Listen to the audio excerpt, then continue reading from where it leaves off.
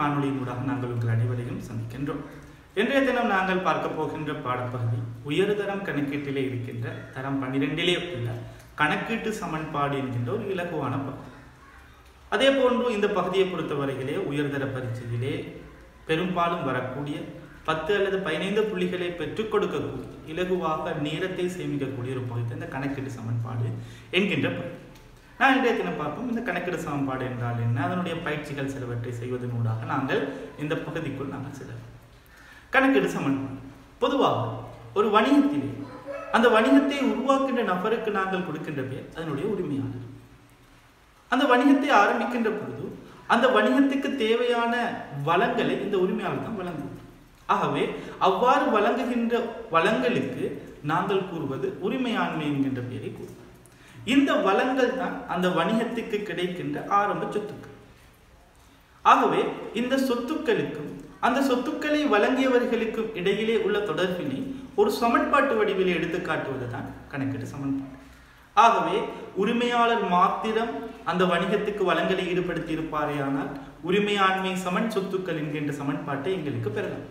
இருந்த போதிலும் பொதுவாக ஒரு வணிகத்தை பொறுத்தவரையிலே உரிமையாளர் மாத்திரம் அல்ல உரிமை தவிர்ந்த வெளித்தரப்பினர்கள் அல்லது மூன்றாம் தரப்பினர்கள் அந்த வணிகத்திற்கு நிதியினை வழங்கி இருப்பார்கள் அல்லது வேறு ஏதும் வளங்களை வழங்கி இருப்பார்கள் பொதுவாக கடனுக்கு கொள்வனவு செய்யலாம் வங்கியிலே கடன் எடுக்கலாம்.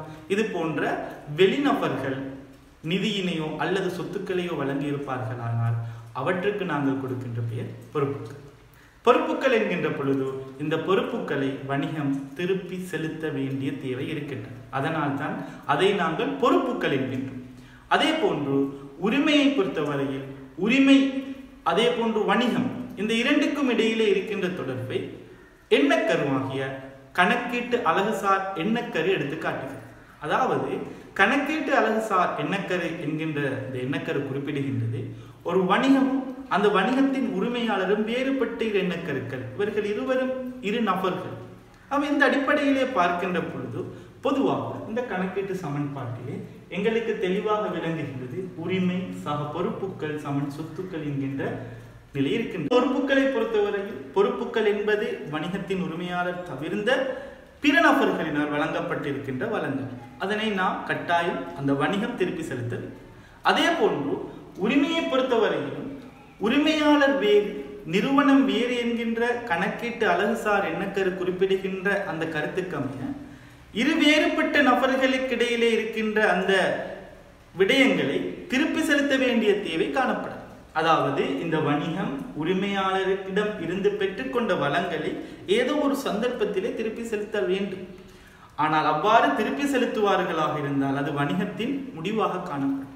அவை நாங்கள் ஒரு எடுகோலுக்காகத்தான் எண்ணக்கரு அதாவது கணக்கீட்டு என்ன எண்ணக்கருவினை எடுப்பது? நிறுவனம் வேறு உரிமையாளர் வேறு என்பதை நாங்கள் எடுப்பது இரண்டையும் பிரித்தறிவதற்காகத்தானே தவிர இந்த உரிமை என்கின்ற விடயத்தை எந்த ஒரு சந்தர்ப்பத்தில் வணிகம் திருப்பி செலுத்துமோ அந்த சந்தர்ப்பத்திலே வணிகத்தை முடிவுக்கு கொண்டு வர வேண்டிய தேவை ஒன்று ஏற்படலாம். அதனால் தெளிவாக விளங்கிக் கொள்ளுங்கள்.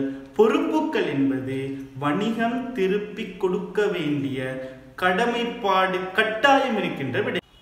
ஆகவே பொறுப்புகளை தீர்க்க வேண்டிய கடமைப்பாடு இருக்கின்றது. ஆனால் உரிமையை உடனடியாக தீர்க்க வேண்டியதோ அல்லது நீண்ட காலத்தில் தீர்க்க வேண்டியோ தேவை ஒன்று காணப்படாது. அவ்வாறு தீர்க்கப்படுமாக இருந்தால் அந்த வணிகம் முடிவுக்கு கொண்டு வர வேண்டிய தேவை ஒன்று ஏற்படலாம்.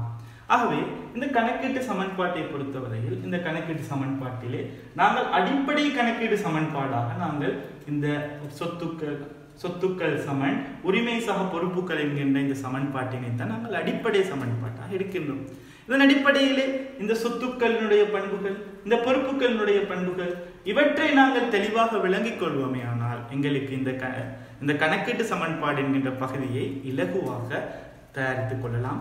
பயிற்சிகளை செய்வதனூடாக எங்களுடைய வேகத்தை அதிகரிப்பதனூடாக உயர்தர பரீட்சையிலே வருகின்ற பொழுது இந்த விடயங்களை எங்களுக்கு இலகுவாக செய்து கொள்ள முடியும். அவை நாங்கள் முதலாவதாக பார்ப்போம் சொத்துக்கள் என்பது பொதுவாக ஒரு வணிகத்திற்கு சொந்தமாக காணப்படுகின்ற வளங்களை நாங்கள் சொத்துக்கள் என சுருக்கமாக குறிப்பிடலாம். இந்த சொத்துக்கள் பொதுவாக சில பண்புகளை கொண்டிருக்கும்.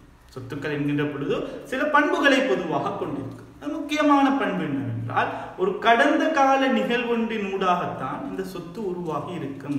அதாவது உரிமையாளர் அல்லது வெளித்தரப்பினர் மூலம் தான் இந்த சொத்துக்கள் கடந்த காலத்தில் உருவாக்கப்பட்டுள்ளதாக இருக்கும் ஆக முக்கியமான ஒரு பண்பு கடந்த கால நிகழ்வொன்றினால் இந்த சொத்துக்கள் உருவாக்கப்பட்டு மற்றொரு பண்பு இருக்கின்றது. அதாவது இந்த சொத்துக்களின் மூலம் எதிர்காலத்திலே வணிகத்திற்கு பொருளாதார ரீதியிலான நலன்கள் கிடைக்கலாம். பொதுவாக ஒரு வணிகத்தில் சொத்துக்கள் காணப்படுமாக இருந்தால் மாத்திரம்தான் அந்த வணிகம் லாபத்தையோ அல்லது வருமானங்களையோ உழைத்துக் கொள்ள முடியும். அவ்வாறு இல்லாத சந்தர்ப்பத்திலே அவற்றை உழைத்துக் கொள்ள முடியும். ஆகவே இந்த இரு முக்கியமான பண்புகளை சொத்துக்கள் கொண்டிருக்கின்றன. அதே போன்றுதான் பொறுப்புகளை பொறுத்த வரையிலும் பொறுப்புகளுக்கு முக்கியமான ஒரு பண்பு இருக்கு. என்னென்றால் அதுவும் கடந்த கால நிகழ்வொன்றினால் உருவாக்கப்பட்ட ஒன்றுதான். பொறுப்புகள் என்பதும் கடந்த கால நிகழ்வொன்றினால் உருவாக்கப்பட்ட ஒரு விடை அதே போன்று க- எதிர்காலத்திலே பொறுப்புகளை தீர்க்கின்ற பொழுது எதிர்காலத்திலே பொறுப்புகளை தீர்க்கின்ற பொழுது கட்டாயம் தீர்க்க வேண்டும். அவ்வாறு தீர்க்கின்ற பொழுது வணிகத்திலே இருக்கின்ற பெருமதியான வளங்கள் வெளிப்பாய்ச்சலுக்கு வெளிப்பாய்ச்சலை ஏற்படுத்தும். அதாவது எதிர்காலத்திலே பொறுப்புகளை நாங்கள் தீர்க்கின்ற பொழுதோ எங்களுடைய கையில் உள்ள காசையோ அல்லது வேறு சொத்துக்களையோ நாங்கள் திருப்பி செலுத்த வேண்டிய தேவை ஏற்படும். ஆகவே எங்களுடைய பெருமதிமிக்க வளங்களினுடைய வெளிப்பாய்ச்சல் எதிர்காலத்திலே இவற்றை தீர்க்கின்ற பொழுது ஏற்படும். ஆகவே இந்த பண்புகளின் அடிப்படையில் சொத்துக்களில் வரக்கூடிய விடயங்கள் என்ன? பொறுப்புகளில் வரக்கூடிய விடயங்கள் என்ன? மூலதனம் அல்லது உரிமையில் வரக்கூடிய விடயங்கள் என்ன என்பதை நாங்கள் தெளிவாக விளங்கிக் கொள்ள வேண்டும். பொதுவாக ஒரு வணிகத்துக்கு சொத்து என்கின்ற பொழுது அந்த சொத்து முக்கியமாக பல சொத்துக்களை உள்ளடங்கி இருக்கலாம் அந்த வணிகத்தினுடைய காணி அந்த வணிகத்துக்கு சொந்தமாக உள்ள கட்டிடம் அந்த வணிகத்துக்கு வேறு எது நடைமுறை அல்லாத சொத்துக்கள் காணப்படுமாக இருந்தால் மோட்டார் வாகனங்கள் தளபாடங்கள் அல்லது வந்து இயந்திரங்கள் இது போன்ற சொத்துக்கள் காணப்படலாம். அதே போன்று கையில் இருக்கின்ற இருப்பு கடன்பட்டோர் காசு வங்கியில் இருக்கின்ற பணம் அதே போன்று முற்பண முற்பணமாக செய்த செலவுகள் கிடைக்க வேண்டிய வருமானங்கள் இவற்றை நாங்கள் பொதுவாக ஒரு வணிகத்தினுடைய சொத்துக்கள் என்று குறிப்பிடுவோம். அதே போன்று வணிகம் கொடுக்க வேண்டியவற்றை நாங்கள் பொறுப்புகள் என குறிப்பிடுவோம்.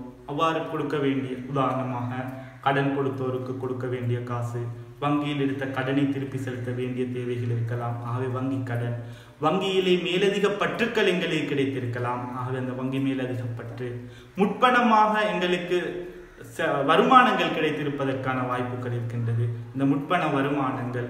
அதே போன்று நாங்கள் செலுத்த வேண்டிய செலவுகளை இன்னும் செலுத்தாமல் இருந்திருப்போம். அட்டுறு செலவுகள் என்று குறிப்பிடுவோம். அந்த அட்டுறு செலவுகள் இவற்றை நாங்கள் கூறுவோம். பொறுப்புகள் என்பதற்கு உதாரணங்களாக எங்களுக்கு எடுத்துக்கொள்ள முடியும். ஆக இந்த அடிப்படை கணக்கீட்டு சமன்பாடு எங்களுடைய உயர்தரத்திலே பல விடயங்களுக்கு தொடர்புபடுவது போலவே பெரும்பாலும் எங்களுடைய பரீட்சையில் வருகின்ற பொழுது இந்த சமன்பாடு மேலும் மேலும் விரிவடையலாம். சொத்துக்களை இரண்டாகவோ மூன்றாகவோ பிரித்திருக்கலாம். பொறுப்புகளை இரண்டாகவோ மூன்றாகவோ பிரித்திருக்கலாம். அதே போன்று உரிமை உரிமையில் வார விடயங்களை இரண்டு மூன்றாக பிரித்திருக்கலாம். இவ்வாறு விரிவடைவதற்கான சந்தர்ப்பங்கள் காணப்படுகிறது. ஆகவே இந்த சொத்துக்களை பொறுத்தவரையிலே சொத்துக்களை பொதுவாக நாங்கள் இரண்டு வகைப்படுத்துவோம். நீண்ட கால பயன்பாட்டுடைய சொத்துக்களை நாங்கள் கூறுவது நடைமுறை அல்லாத சொத்துக்கள். காணி கட்டிடம் தளபாடம் மோட்டார் வாகனம் இயந்திரங்கள் இவற்றை நடைமுறை அல்லாத சொத்துக்கள் என குறிப்பிட முடியும். அதே போன்று நடைமுறை சொத்துக்கள் என்று இரண்டாவதாக சொத்துக்கள் இரண்டாவது முறையாக வகைப்படுத்துகின்ற பொழுது நடைமுறை சொத்துக்கள் எங்களுக்கு வகைப்படுத்தலாம். அதிலே பெரும்பாலும் அடிக்கடி மாற்றத்துக்கு உட்படுகின்ற சொத்துக்களை நாங்கள் இதிலே உட்படுத்துவோம். அடிக்கடி மாற்றத்துக்கு உட்படுகின்றது. கடன்பட்டோர் அதே போன்று கையில் உள்ள காசு அதே போன்று இருப்புக்கள் இவை அடிக்கடி மாற்றத்துக்கு உட்படும். இந்த சொத்துக்களை நாங்கள் பொதுவாக நடைமுறை சொத்துக்கள் என்று வகைப்படுத்தும் அதே போன்று பொறுப்புகளையும் எங்களுக்கு இரண்டு வகைப்படுத்த முடியும். நடைமுறை அல்லாத பொறுப்புகள் நடைமுறை பொறுப்பு. இங்கு நடைமுறை அல்லாத பொறுப்புகள் என்கின்ற பொழுது இங்கே குறிப்பிடப்படுகின்ற விடயம் அதாவது பனிரெண்டு மாதங்கள். ஒரு வருடம். ஒரு வருடத்துக்கு மேல் தீர்க்க வேண்டிய பொறுப்புகளை நாங்கள் நடைமுறை அல்லாத பொறுப்புகள் என்று குறிப்பிடும் நீண்ட காலத்தில் பெறப்பட்ட வங்கி கடன் அதே போன்று ஈட்டுக்கடன்கள் காணப்படுமாக இருந்தால் தொகுதி கடன்கள் காணப்படுமாக இருந்தால் அவை நீண்ட கால பொறுப்புகள். அதே போன்று நடைமுறை பொறுப்புகள் என்பது பனிரெண்டு மாதங்களுக்குள் குறுங்காலத்தினுள் தீர்க்க வேண்டிய பொறுப்புகள். கடன் கொடுத்தோர் வங்கி மேலதிகப்பற்று இது போன்ற விடயங்களை நாங்கள் நடைமுறை பொறுப்புகள் என வகைப்படுத்துகிறோம். ஆகவே இந்த கணக்கீட்டு சமன்பாடை மற்றொரு முறையில் எங்களுக்கு விரிவாக்கம் செய்யலாம். சொத்துக்களை நடைமுறையல்லா சொத்து நடைமுறை சொத்து. பொறுப்புகளை நடைமுறை அல்லாத பொறுப்பு நடைமுறை பொறுப்பு. இவ்வாறு வகைப்படுத்துவதனூடாக எங்களுக்கு இந்த சமன்பாட்டை இன்னும் விரிவாக்கி காண முடியும்.